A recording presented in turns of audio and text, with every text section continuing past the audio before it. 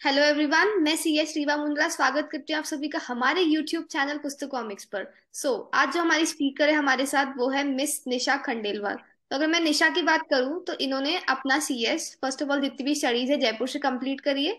इन्होंने जो अपनी ट्रेनिंग है वो फर्म में भी करी है और अलॉन्ग विद एक लिस्टेड कंपनी में भी करी है। करंटली ये उदयपुर में हिंदुस्तान जिंक के अंदर एक सी एस है।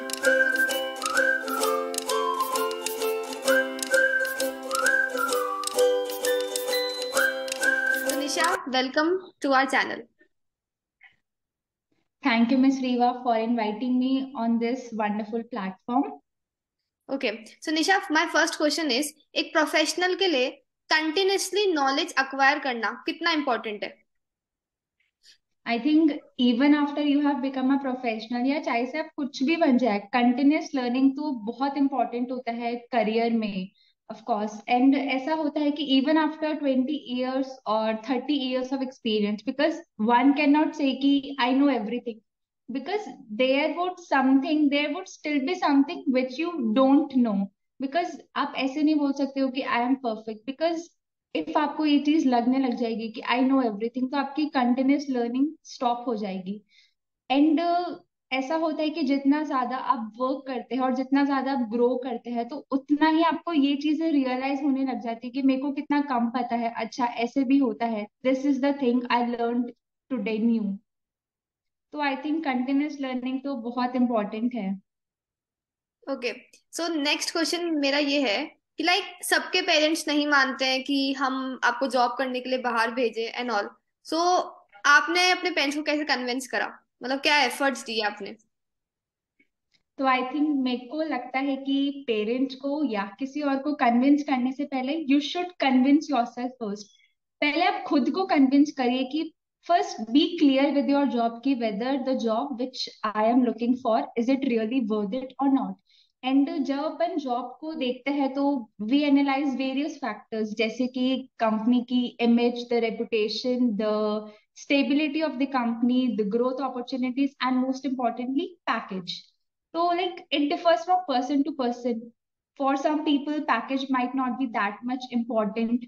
उनको growth opportunities चाहिए होती है तो सबसे पहले ऐसा होता है खुद को एकदम श्योरिटी ला दीजिए आप पहले खुद ही क्लियर हुई कि yes I want really that job then आप जब पेरेंट्स को बताने जाएँगे तो आप बहुत ही आपके पास एक बहुत ही इफ़ेक्टिव रीजनिंग होनी चाहिए बिकॉज़ जब आप उनको बताएँगे so they will ask you numerous question like बेटा कहाँ है जॉब कौन सी कंपनी में है? कितना पैकेज है? मतलब they will ask you an number of question तो आपके पास एक बहुत ही इफ़ेक्टिव रीजनिंग होनी चाहिए। आप अपनी कॉन्वर्जेशन एकदम स्ट्रैटेजिकली प्लान करिए।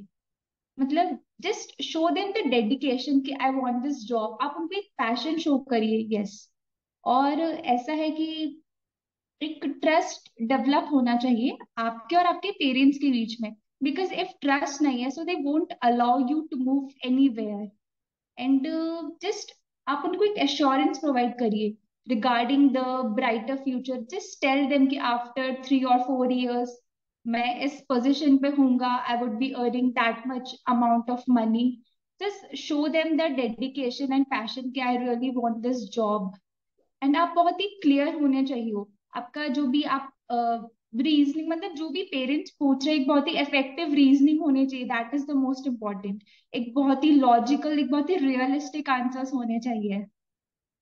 सो आई थिंक मैंने ऐसे ही कन्विंस करा। एंड आपको कुछ फैक्टर्स पेरेंट्स के साइड से भी कंसिडर करने चाहिए। लाइक इन माई केस मेरे पेरेंट्स ऐसे थे कि नो मतलब ज़्यादा दूर नहीं जाना है so I got an opportunity from Udaipur तो since I belong from Jaipur so like Udaipur is not far away from Jaipur तो मैंने वो चीज़ थोड़ा पेरेंट्स के साइड से भी सोचा कि ठीक है I should consider the job in Udaipur तो योर नेक्स्ट क्वेश्चन इज़ कि जब इंटरव्यू देने कोई भी जाता है तो उसके लिए क्या पैरामीटर्स होते हैं जिसपे उसको जज करा जाता है? और आप क्या टिप्स देना चाहोगे जब एक स्टूडेंट या कोई भी प्रोफेशनल इंटरव्यू देने जाए? तो सबसे पहले कि जब अपन इंटरव्यू देने जाते हैं तो आई थिंक ड्रेसिंग सेंस आपका बहुत ही स्वीट एंड सिंपल होना चाहिए। मतलब आई थिंक ऐसा बोला जाता है ना कि like first impression is the last impression तो जब आई थिंक ड्रेसिंग सेंस के बेसिस पे आपका सबसे पहला किसी पर्सन को लेके आपका इम्प्रेशन जाता है। एंड देन ऐसा होता है कि आई थिंक जब अपन इंटरव्यू देने जाते हैं तो confidence like is the best thing to bear like confidence तो होना ही चाहिए। You should not be over confident with regard to that particular interview तो आप एकदम एक अच्छा लेवल ऑफ़ कॉन्फिडेंस होना चाहिए। एंड ऑफ़ कोर्स जब आप अपना सीवी प्रेजेंट करेंगे तो मेक श्योर sure कि आपका सीवी बहुत ही मतलब it like it should be presentable ऐसा नहीं होना चाहिए कि दो तीन पेजेस का हो because people don't have time to read मतलब उनके पास इतना टाइम नहीं होता कि वो आपके दो तीन पेजेस को पढ़ेंगे। तो it should be very sweet and very simple and आपकी knowledge of course how you present yourself आपकी कम्युनिकेशन स्किल्स बहुत अच्छी होनी चाहिए। मतलब इट्स नॉट लाइक दैट कि you should always speak in English only so language is not the barrier आप हिंदी में भी प्रेजेंट करो so that should be confident आपके एक लेवल ऑफ़ कॉन्फिडेंस होना चाहिए, आप कुछ भी बोल रहे हैं उस चीज़ में। एंड एक बहुत ही रियलिस्टिक एक बहुत ही लॉजिकल चीज़ें होनी चाहिए of course while presenting your answers before the interviewer